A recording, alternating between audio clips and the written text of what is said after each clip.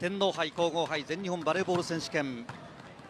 準決勝の女子第1試合です。久光製薬スプリングス対 NEC レッドロケッツ。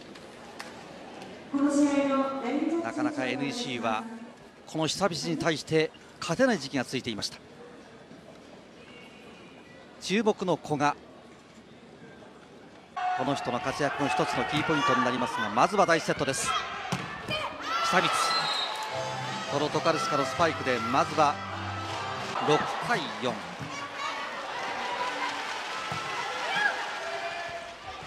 今度は長岡。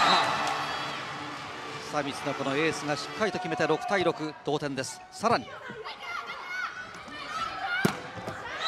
NEC の方は柳田。11対11大接戦の大セット。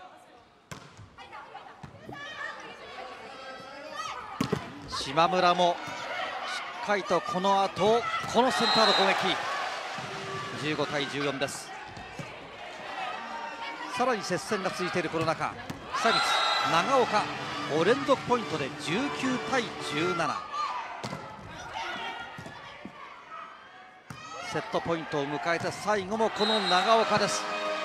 ブロックアウトを誘って25対19接戦の第1セットは久光が25対19でまずは取っています。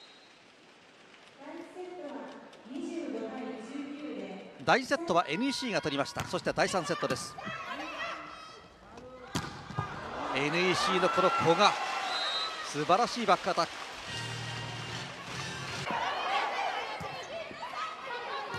そして久光の中尾路のこのセッターですが素晴らしい2アタック。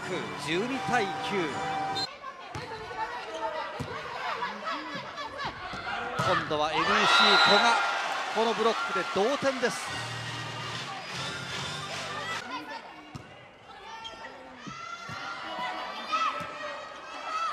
今日スターティングラインナップ出場の柳田。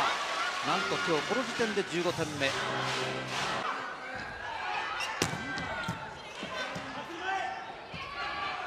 長岡のスパイクにしてまた同点。大接戦です。この後ゲームはデュースになります。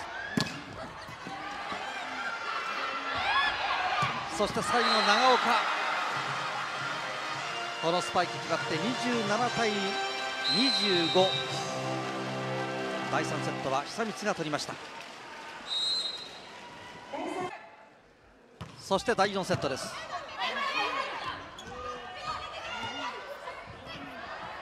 この新鍋の絶妙なフェイントが決まります。3対3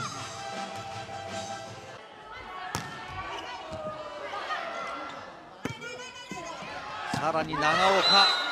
このブロックアウトでなんとこの試合この時点で30点目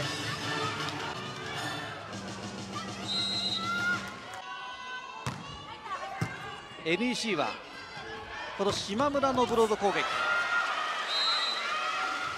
17対13さらにこの速攻。なんとか追いすがります。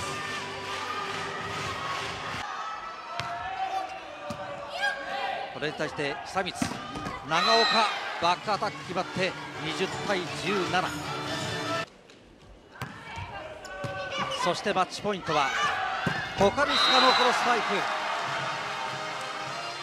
これが決まってセットカウント3対1久光が5年連続の決勝進出を決めています。